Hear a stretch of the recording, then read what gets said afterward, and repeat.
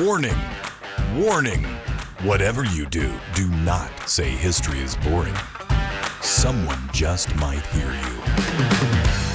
The last time that happened, famous people traveled through time and broke history.